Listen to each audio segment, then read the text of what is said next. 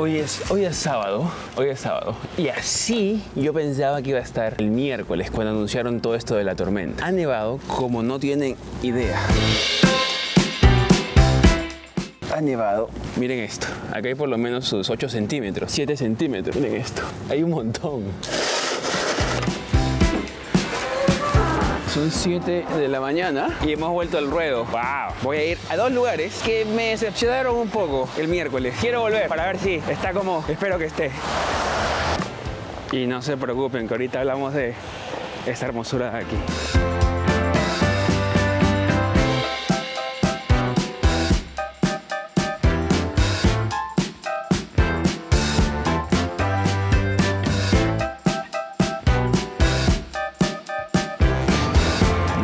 Ahora sí está peligroso. Ahora sí está peligroso.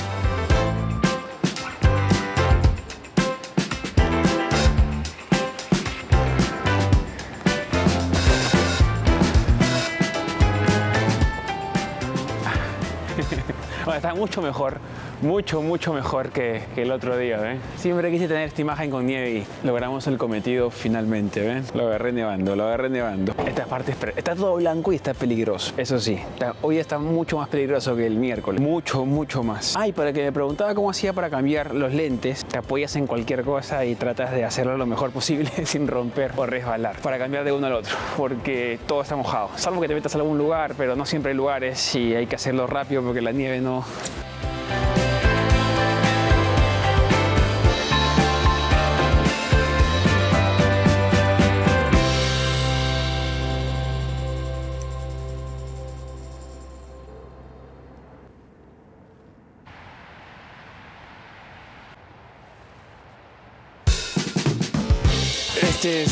este es el segundo lugar que quise volver en mi aventura.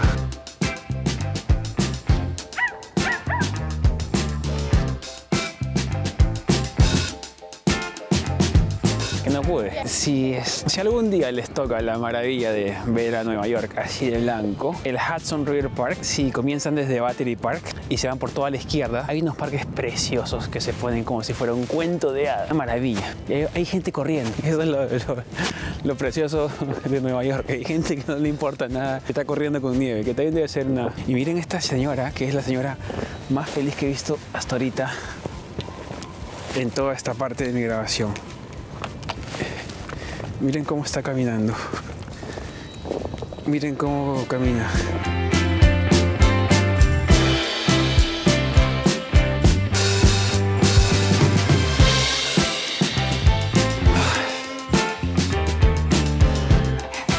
Así está ahora, ¿ven? ¿Ven? Ha cambiado. Yo creo que mucha gente lo ha notado. Qué cambio, ¿eh? Hablemos. Eh, en los últimos videos ya lo habrán visto. Hay mucha gente que me lo ha dicho. Lo han notado. Hay gente que es más detallista, curiosa en ese aspecto. Y aparte, pues yo sonrío mucho también. Y es que sí, todo lo que han visto es cierto. Estaba llevando un tratamiento o llevé un tratamiento para mejorar la sonrisa. Y es algo, algo que yo me rehusaba, me negaba a hacerlo, porque siempre decía que no me importaba. Pero poco a poco me importó más. Poco a poco se me fue, se me fue la idea de no hacerlo y entraba la idea de más, de hacerlo.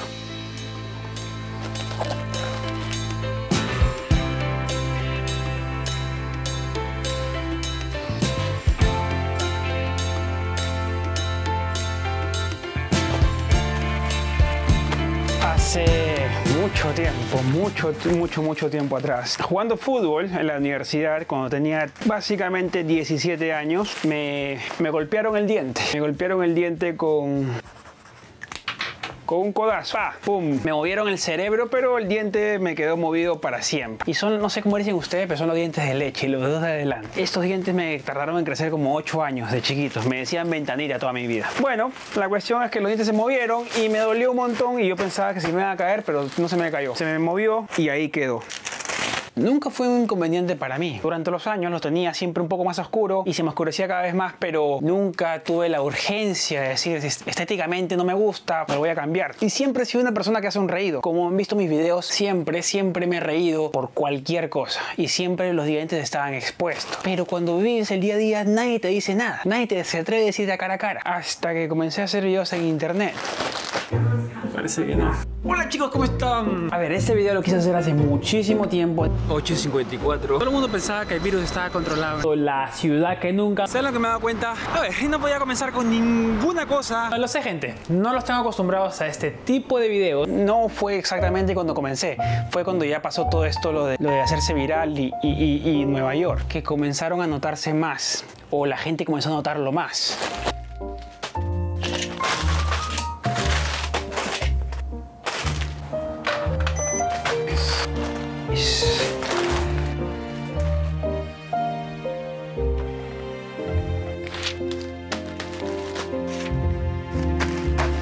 Joana, por comprar, gracias. Había algo, había algo que sí me preocupaba. En este país más o menos lo que yo tenía que hacerme que era una limpieza, endodoncia y si quería tener la sonrisa como, como la trabajamos, iba a costar, en, depende de donde preguntes, depende de quién te lo haga y en qué estado lo hagas, entre 15 y 20 mil dólares me parece, la última vez que coticé. Y claramente pues prefería tener un diente negro que pagar tanto dinero. Pero es complicado. Hasta que llegó Bea. Hola, ¿cómo están? Yo soy la doctora Beita. Estamos en Dental Protect. Aquí está la doctora Beatty. Ella es especialista en ortodoncia. Y por aquí está Stephanie con Henry en el proceso de estética y en el proceso de su nueva sonrisa que me dijo, Henry, yo soy peruana, veo tus videos y te quiero ayudar con tu sonrisa. Aunque yo no lo pedía, nunca lo pedí, pero me agarró en el momento que yo estaba pensando ya hacerlo. Más fue en los últimos dos años, de hecho, de estar aquí en YouTube, en Internet en general. Que ya me decían, vives en Nueva York y tienes un diente negro. Su computadora así. Ah. Esta es la pelea. Esta, esta es la mitad. Entonces, si su computadora pasa la mitad, pues está invadiendo mi territorio. No sabía la relación que había, pero Ahí estaban los comentarios. Tienes un dron y no puedes arreglarte ese diente podrido. Se notaba feo. Y habían días buenos para el diente que se ponía un poquito más clarito, pero normalmente no. Y hasta tuve que filtrar la palabra diente, dentista, odontólogo en YouTube, porque, a ver, yo pensaba que no, que no me jodía, digamos. Ya estoy grande para esto, decía. Pero me di cuenta que ya tenía más reparos a la hora de sonreír. Y yo decía en mi cabeza que no me importaba, que las balas no pasaban. Bueno, las balas estaban pasando, yo de vez en cuando, cuando sonreía, me daba cuenta de que sonreía rápido para no darle oportunidad a la gente que me juzgue. Cosas mías. Bueno, ahí fue cuando dije, ¿saben qué? Vamos a hacerlo.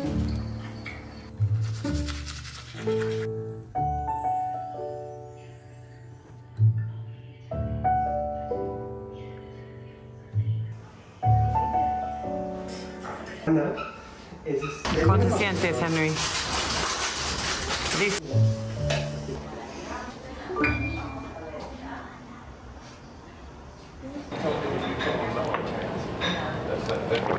Ahí es entró Bea. Y Bea me dijo todo lo que me podía hacer y en Lima, que era la mejor situación. Bueno, fue fácil la decisión después de eso. Una vez de haberlo trabajado dije, ¿saben qué? Vamos con todo. Y comenzamos los tratamientos. El primero fue limpieza y luego lo que más me asustó fue la endodoncia. La endodoncia, eso que te hacía en un hueco, porque tenía el diente, no el diente,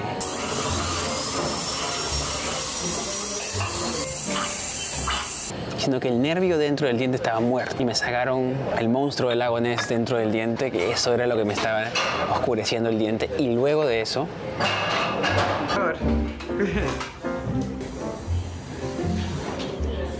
Pero trata de higienizarte bien esa.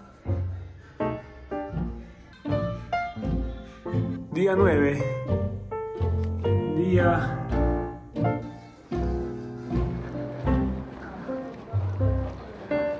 Estamos. Estamos súper tarde.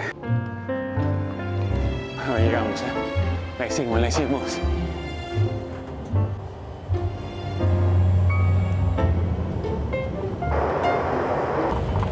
Bueno, creo que ya vieron que estamos volando. ¿A dónde? Acabamos de llegar a la bella Savannah, Georgia. Savannah, Georgia. Primera vez, ¿eh? En Georgia. Así que vamos a ver cómo nos va en Georgia. Thank you.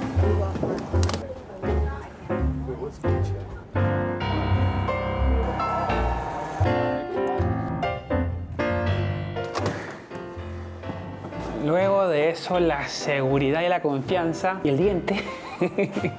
primero, primero el diente. Cambió de color instantáneamente.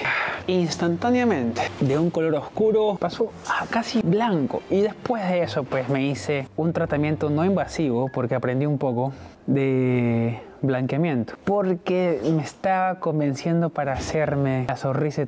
Que al final, como están viendo, me la hice. Que no sabía cómo era. Y tenía mucho miedo.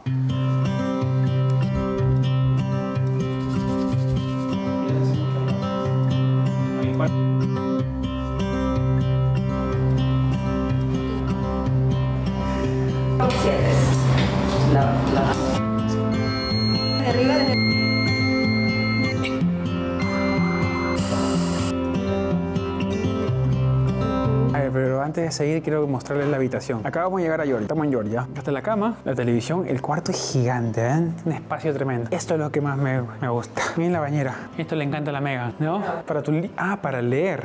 Oh, el armario, tenemos el lavatorio, ducha, espectacular. Y hay dos duchas, así que nos podemos bañar juntos si queremos, ¿sí, ¿no? Y separado del baño.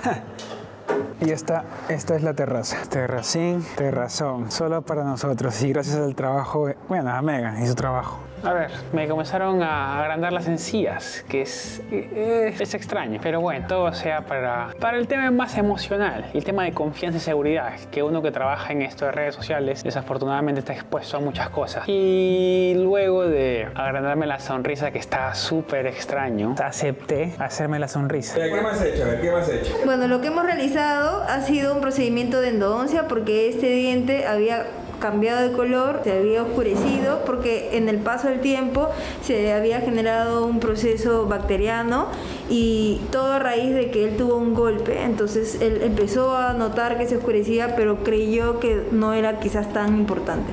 Cuando tomamos la radiografía sí era necesario hacer una endodoncia porque se estaba formando un proceso infeccioso, así que una vez que realizamos la endodoncia hicimos inicio a un blanqueamiento de todos los dientes, tanto interno como externo. Interno porque este diente desde la parte más interna ya tenía un cambio de color. Adicional a ello, realizamos un corte de encía para que se puedan ver más grandes los dientes y considerando que hay algunos espacios mínimos, hemos mejorado también la apariencia, el ancho y también los bordes porque estaban un poco quiñados y hoy en día tiene una nueva sonrisa. Que es algo que es, a ver, la sonrisa es algo que es, es como la puerta al corazón, al espíritu, al alma. Y no sabía lo importante que era hasta que me hice esto y ahora sonrío. No sé, cada uno tiene sus cosas, pero acepté. Y después de 6, 7 horas, pues salí de esta manera. A ver, el resultado, ¿cuál fue? Si me quieren preguntar el resultado, ¿cuál fue de todo esto? Es que toda la gente que me mira ahora me mira algo extraño y me dicen, ¿qué te has hecho? No saben qué. Y les digo, pues los dientes. Y nunca supe cómo explicar por qué me los hice. Ahora sí, ahora sí puedo decirles que hubo un momento que quería hacérmelos y no sabía cómo preguntarme a mí mismo. Pero bueno, este video lo hago solamente para que a todas las personas que a veces tienen miedo de sonreír o hacer algo, tener miedo de ser juzgados, hay maneras de solucionarlo. No digo solamente los dientes, sino que hay muchas cosas. Y hay que primero ser conscientes de- del tema, aceptarlo y de ahí comenzar a trabajar. Ahora, pues ustedes ven que sonríen en todos lados y no lo hago por los halagos, sino que lo hago por, por mí que todo y la seguridad que me ha dado y la confianza a la hora de sonreír. Gracias por ver, gracias querubines, gracias a todos por ayudarme a llegar a este momento y, y gracias a Bea por, y a Dental Protect por ayudarme a llegar aquí. No duden ni un segundo, como yo lo dudé por muchos años. Nos vemos, gracias por todo.